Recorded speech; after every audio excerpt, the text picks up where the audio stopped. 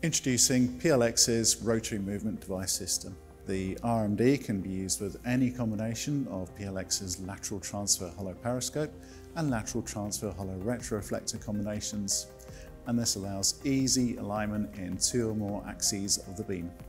PLX provide the RMD integrated with your choice of LTHP or LTHR and in this configuration the input beam can be continuously adjusted to any given distance from the output beam. This assembly can be used for bore sighting.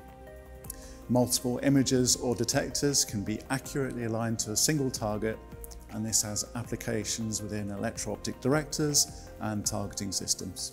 Thanks to matched CTE and the optical elements and PLX's proprietary invariant technology, the input beam maintains perfect parallelism with the output beam over time, temperature and vibrations. Another application is PLX's articulated arm beam delivery system.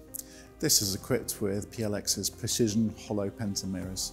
This system can deliver a laser beam to any arbitrary point in 3D space and any arbitrary direction.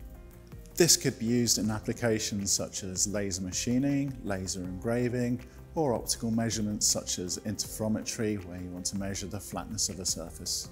PLX's RMD maintains sub-arc second accuracy even under harsh extremes of temperature, shock and vibration. Our goal is to use PLX's proprietary optical technology to provide innovative solutions for real-life problems.